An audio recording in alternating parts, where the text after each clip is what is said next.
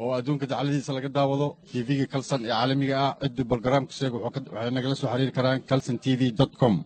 Shaashadda waxaa idinkaga muuqda calson t v madaxweynihii hore ee xibin iyo xeeb maxamed aadan tiici oo baryahan booqasho ku marayey waddamadan skandinavianka haddana wuxuu ku sugan yahay magaalada stockholm ee dalka sweden.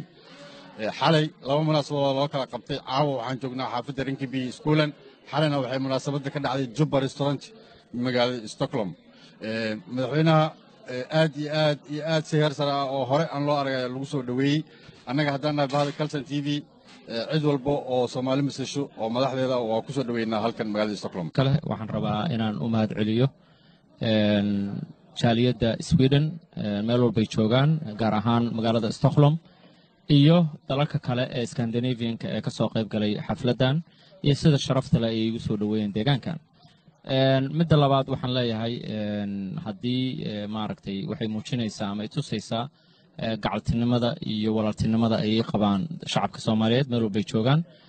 Ayagoo jaaliyad walba leh waxaana leeyahay maaragtay waa ku mahadsantihiin abaal iyo maaragtay ajarna waan idinka haayaa midda labaad waxaa jira wax naga wada dhexeeya oo ah soomaaliya.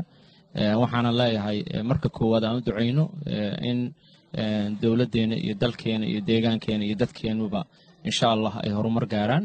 Ilaahayna maaragtay waxaan ka baryaynaa wax khayr qaba. Tan labaadna aan maaragtay isku dayno qayb walba oon ka qaadan karno. Haddaan nahay shacabka soomaaliya aan ka qayb qaadano ha ahaato mid hoose oo deegaan ama ha ahaato mid gobol ama ha ahaato midda sare. Insha allahna waxaan rajaynaynaa kolley maanta waxaa jira doorasho kolley la qaban doono maalmaha soo socda oo ku aadan guddoomiyaha baarlamaanka. Waxaan rajaynayaa in mid khayr qaba ilaahay nooga dhigo oo ummadda soomaaliyeed maaragtay isu keena.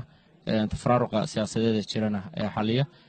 Haddii ilahay nafta nagu simo laakiin waxaa muhiimku yahay in maaragtay aan haddaan nahay soomaalida ama qurbaha joogta ama soomaaliya joogta inaan tusno inaan waxaan anagu leenahay annaguna ay nooga baahanta inaan hagaagsanno. Haddii ilaah yidhahdo aniguna shaksi ahaan waxaan maaragtay insha allah tegi doonaa soomaaliya. Wixii aan qaban karo karaankay ahna waan qaban doonaa haddii ilaah yidhahdo aanan ku xirayn inaan xafiis hayo ama inaan maaragtay shaqa gooniyo hayo. Laakiin ay tahay mid waajib igu ah saaran. Annagoo dhanna wada saaran insha allah waa mahadsanta aad iyo aadaan kugu mahad celinaynaa barnaamijka nagala qayb qaadatay haddana bahda calson t v مرة بعد المسدح عاد نحن كلنا